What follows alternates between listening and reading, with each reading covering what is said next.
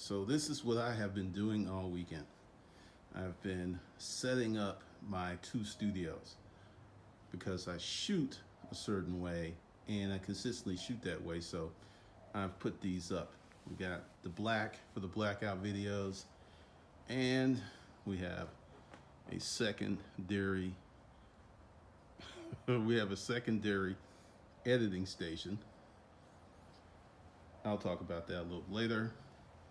We got another camera that we're gonna keep here. We're gonna keep these lights here. And we're going to keep those there. Probably gonna put in a third light, but I don't really need that much light for this area. It really performs well. Now, I've been playing around with this green screen.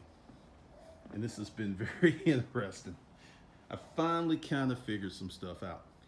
If you're watching a YouTube video about green screens, I'm gonna save you a lot of time. Essentially, you want two to three lights on the green screen. The lights that are on the green screen must be the same light and they must be in the same position so you can have an even spread of light.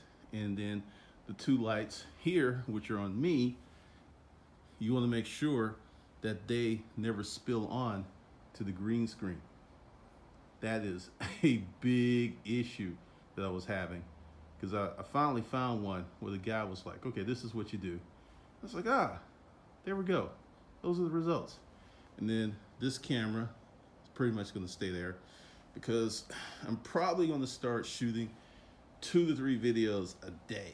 Hence the reason I had to set all this up to create a workflow because when you're producing a lot of video and you don't have your stuff set up, and this is another editing station, and I could, this setup is going upstairs in another studio.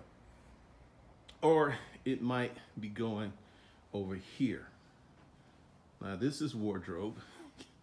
I'm buying certain clothes just for video production. That's the only time I wear them. And then you know, we've got this hallway here, which I can use for some shots. And then what I'm thinking about doing, since I am not a pack rat, is turning this into some more studios. Because fortunately, there's not a lot of stuff in here, thank God.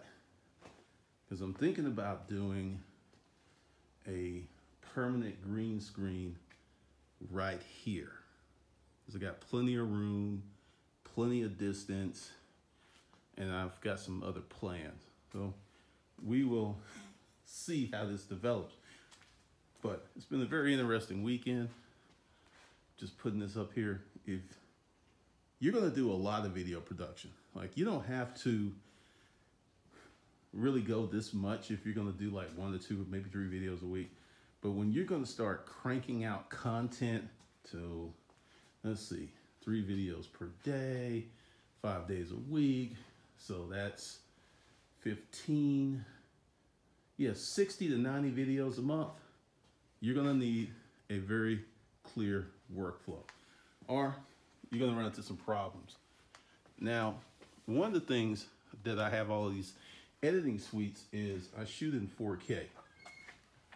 And that is a bear.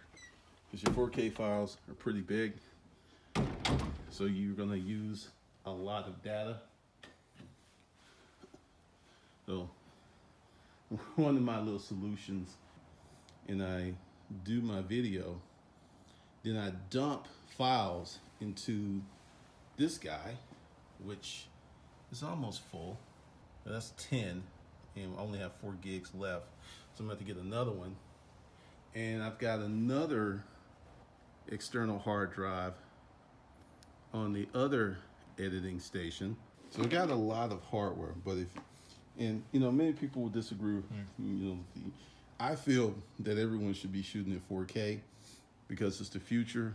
And as someone who had a lot of videos that I didn't shoot, I didn't even shoot in 1080.